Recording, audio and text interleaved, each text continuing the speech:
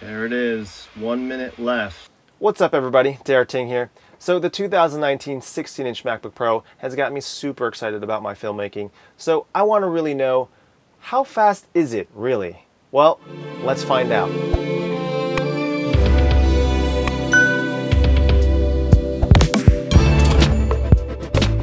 All right, so as you know, I like to do real world tests and um, you know, I'll, I'll be working with my previous laptop, which was a 15 inch 2016 uh, MacBook Pro, which had four gigabytes of video RAM, 16 gigabytes of um, RAM, and a one terabyte hard drive. And I had four terabytes um, of an SSD drive, generic SSD drive attached to my uh, laptop. And I was working on that on DaVinci Resolve. Now I've been rendering out my feature film Agent 2, which is coming out the summer of 2020. And um, so I'm going to report in first, I think, on uh, how long it took to do an HD render. And uh, in DaVinci Resolve, um, you know, attaching the full timeline, which was an embedded timeline, I was able to get a time of an hour and 13 minutes approximately. Um, so that was, I want to mention, was connected to a Blackmagic eGPU Pro. So I wanted to see how fast it was going to go. Um, but the eGPU has helped me in reducing render times, which has been fantastic. So again, that was done in HD. Now, um, so uh, obviously I want to replicate that test, and I have the maxed out um, 64 gigabytes of RAM, um, the top i9 processor, I have the 8 gigabyte video card, and the 8 terabyte um, hard drive, all internal into the MacBook Pro. And so I ran the HD uh, test um, of 80 minutes. And actually, you know, I do want to mention that it was it was slightly longer because we just finished the opening credits, and it was connected to the Blackmagic eGPU Pro.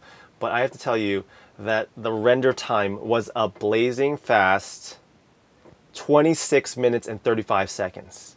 That is ridiculously fast with um, you know and so now you're wondering, okay, is the eGPU Pro having um, an effect on that?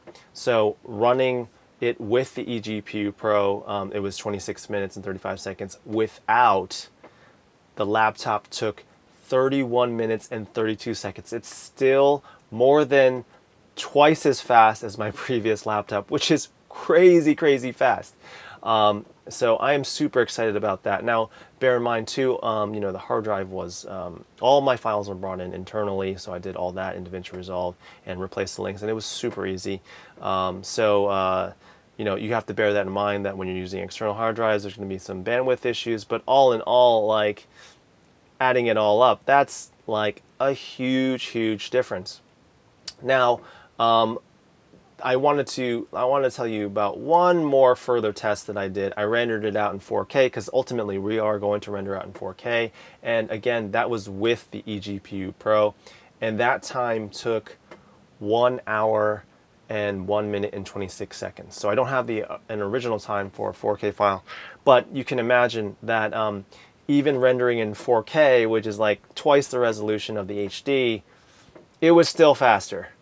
All right, so um, I just wanted to share with you my excitement and uh, just the results of a real world workflow. Um, you know, uh, this is really going to make a big difference in, um, you know, outputting files, which at crucial times, it really, really, really will make a difference when you need to, um, you know, support um, your sound team or your color team. Uh, getting those files to them quicker and easier is, um, is uh, you know it's it's it's definitely important in a crunch when you're um, putting something on a deadline. Um, so uh, yeah, if you have any more, if you have any tests that you'd like me to do, or um, you're curious more about the MacBook Pro, so far I am loving the laptop, and I think um, you know it's well worth uh, the dollar. But I'll definitely continue um, to see you know uh, how much further I can push it. Um, just just you know some some caveats that I um, I'm not the stuff that I'm rendering, it's not fully composed, so I could probably do further tests when um, there's more coloring, um, you know, files or, or, working with Fusion or adding um, effects or, or, or, titles or things like that. Um, I'm not rendering out any visual effects because we have a team out in uh, LA doing that, um, and so they're just providing me, you know, ProRes files.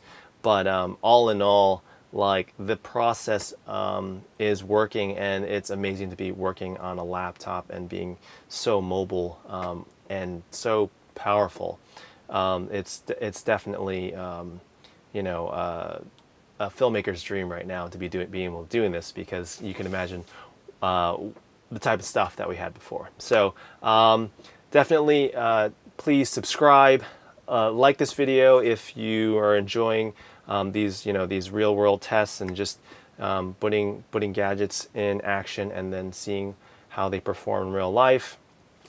And uh, I'll see you next time. All right, thanks.